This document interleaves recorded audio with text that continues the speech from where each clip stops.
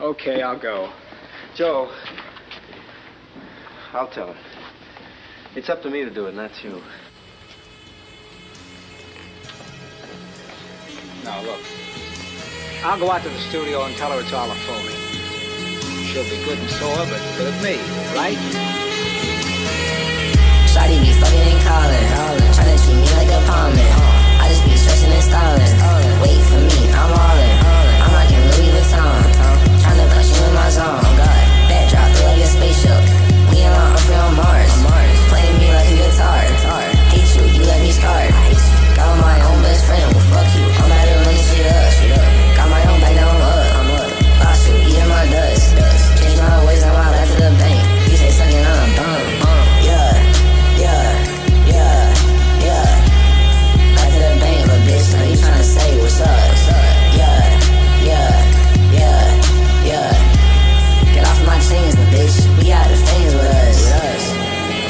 Joe? We're due back in San Diego tomorrow, and our leave is practically up. What difference does that make? Susan's not a girl just for a leave.